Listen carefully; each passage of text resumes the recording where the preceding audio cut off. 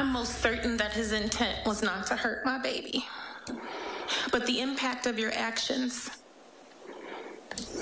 have hurt me forever and ever and ever and ever.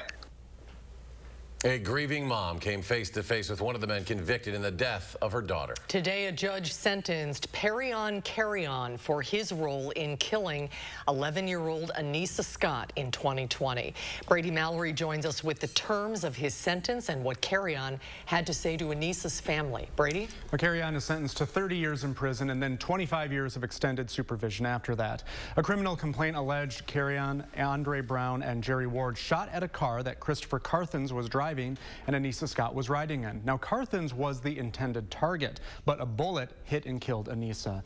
At Carreon sentencing, some of Anisa's family members talked about the devastation they felt without the young girl. And her mom says she just wants her daughter and a normal life back.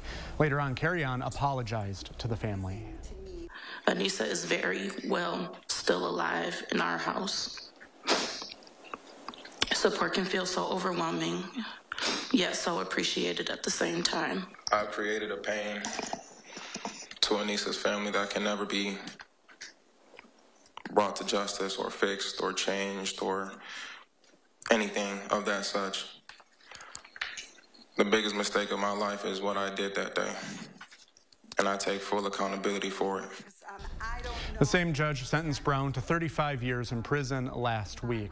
Ward, 19, is the one of the only three defendants not to plead guilty in this case. His trial is set for November.